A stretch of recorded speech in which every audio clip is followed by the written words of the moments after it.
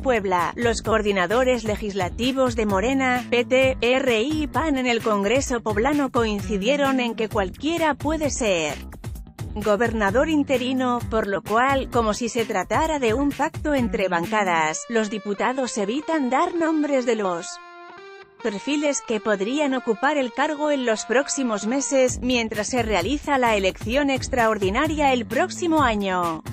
El único perfil que descartó el coordinador del PT en el Congreso local, José Juan Espinosa Torres, fue el del exgobernador. Antonio Gali Fayad, al señalar que la constitución política del Estado de Puebla prohíbe a cualquier exmandatario repetir en el cargo en cualquiera de sus modalidades.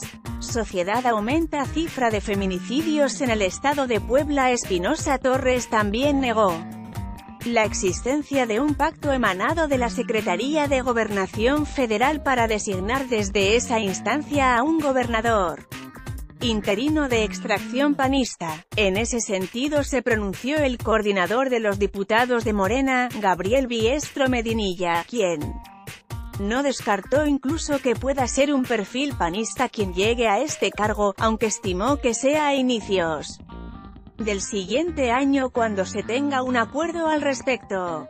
Por su parte, el coordinador de los diputados del PAN,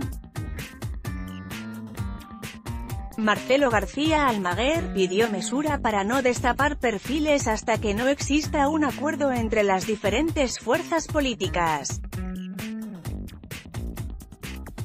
El cual estimó se logre antes del 25 de enero, fecha en que concluyen los 30 días que permite la Constitución para que el secretario general de Gobierno, Jesús Rodríguez Almeida, ocupe el cargo como encargado de despacho del Poder Ejecutivo. Desta vez la diputada federal del PT, Lisef Sánchez García, abogó por que sea la diputada federal de Movimiento Ciudadano, Mayella.